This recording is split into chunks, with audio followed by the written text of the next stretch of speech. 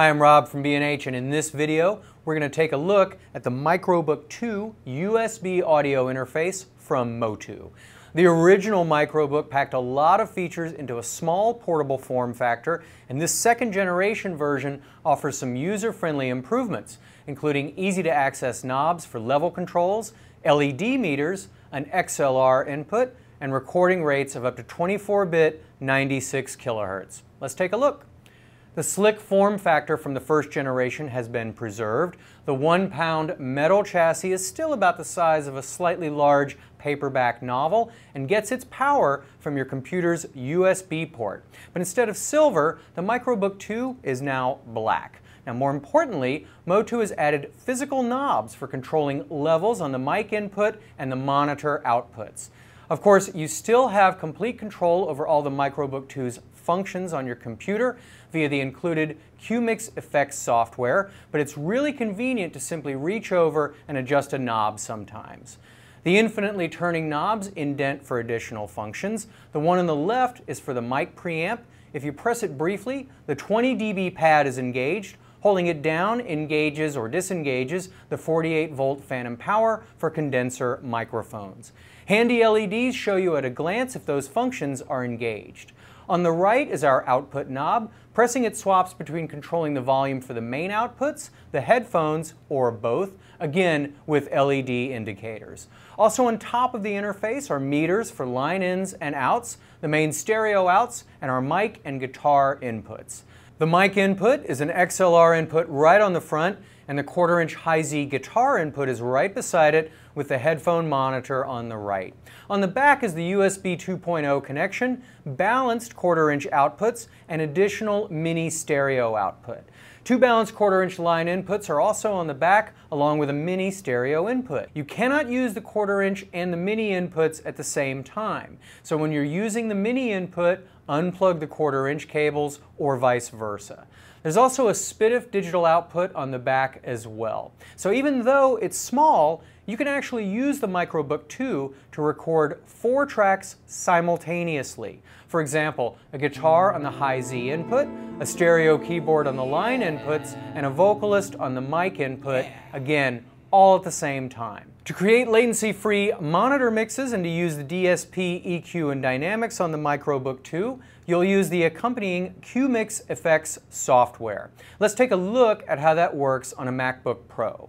Before you get to CueMix Effects though, you'll want to fire up the audio MIDI setup located in the Utilities folder. Select the Microbook 2 from your menu options on the left, then select Output, and in the pull-down menu just beneath, select AUX 1 and 2. Now while we're here, we can look at our speaker configuration as well. I only want the mains to go to my speakers, so that's the only option I have checked. We're working in stereo rather than a surround configuration, and so yep, the left is main 1 and the right is main 2. Now when we head over to CueMix Effects, the output of our DAW shows up on AUX 1 and 2, and we can get a blend of that signal and our inputs to create a no latency mix for our performers using these virtual faders. To do that, we'll set up submixes and route them to different outputs, and CueMix Effects offers four independent stereo submixes to work with. Click on the Outputs tab and you'll get three options.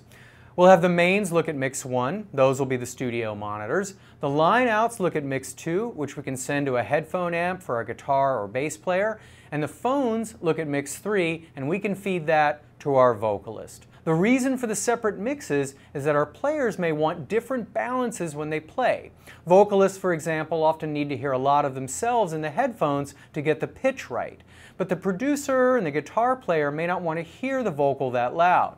So that's why we tailor separate submixes to route to the mains and the line outputs for them. Now keep in mind that you'll have to turn off the input monitoring in your software or you'll get both the latency-free mix from CueMix Effects and the delayed output back from your DAW at the same time. And the timing difference from this double monitoring can really throw you off.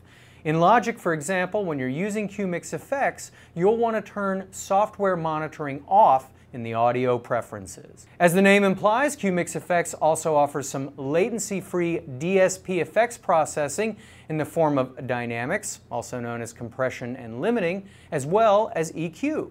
That processing can go on either the inputs or the outputs, so if you want to commit the EQ and compression to your recording in the DAW, you can do that by putting the processing on the input side. If you want to compress or EQ the signal for your player's monitors or to send to outboard gear, then you'll do that on the output side. To set your EQs and compressors, you'll click the Input or Output tab and then the Focus button on the channel you want to process, and then you're in business. Personally, I don't do a lot of EQ on the recording side of things, preferring to keep the options open during the mix stage, but it can be helpful to cut some low end out if you're getting a little mechanical hum or something like that. And if you do choose to sculpt the sound a little bit with EQ while tracking, the seven band British style EQs sound quite good, very musical for DSP EQs in this price range. Once you get your routings and processing settings the way you like for a specific recording session, you can easily save the configuration so that it can be instantly recalled. CueMix Effects also offers some useful and very cool looking audio analysis tools, including FFT analysis, an oscilloscope, an XY plot, phase analysis, and even a tuner.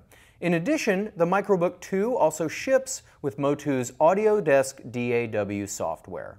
And one final thing I'd like to point out about the Microbook 2 is that unlike the original Microbook, the independent headphone and line-out routing means that you can DJ with this interface. I can assign my QMix to the headphones or even a set of DJ booth monitors plugged into the line outs, and those are completely separate from the main outs for the mix. We tried it out with Native Instruments Traktor software and it worked perfectly. And as any DJ will tell you, the smaller and lighter your gear is, the better, and in that department, the Microbook 2 certainly delivers. So hopefully that gives you a reasonable overview of the Microbook 2. Motu has kept the terrific form factor from the original version and added significant improvements to make a more versatile, user-friendly version that's an especially good fit for laptop music makers and DJs. I'm Rob from B&H, and thanks for watching. For more information, please visit us online, give us a call, or stop by our New York City Superstore. You can also connect with us on the web